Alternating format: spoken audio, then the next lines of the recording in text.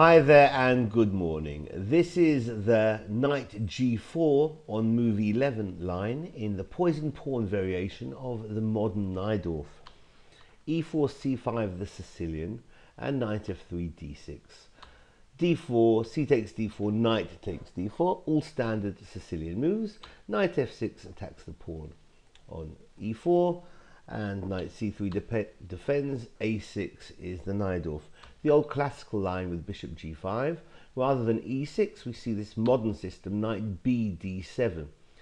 f4 allows queen b6, exploiting perhaps this weaker diagonal, because f4 has been played, but also targeting the pawn on b2, which white gives up with queen d2, and when queen takes this poison pawn, rook b1 hits the queen and queen a3. White trades on f6, and this is a position we've looked at extensively in previous videos. G takes on f6 is a mistake.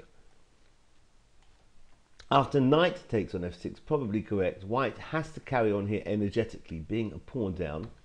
And e5 it seems, should be answered by the retreat of the knight to d7. If instead, uh, this is also a mistake, the capture seems to be definitely in white's favour. If instead knight g4, then white here is winning again. First of all, with knight d5 targeting c7. And we'll look at black here playing queen c5 to defend, but that allows knight b3 hitting the queen again. After queen c6, keeping an eye still on c7, knight a5 hits the queen again. The queen returns to c5, but that allows knight takes on b7, gaining a pawn back. And after queen c6, hitting the knight again, rook b6 hits the queen. Queen d7 is met by queen c3. The threat now is knight c7, check that's almost mate. It's going to win at least the queen.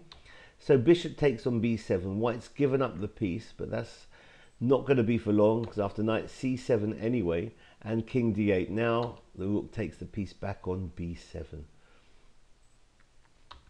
Rook c8 aims at taking the knight, but queen a5 and because uh, now after rook takes on c7, rook b8 means that the rook on c7 is pinned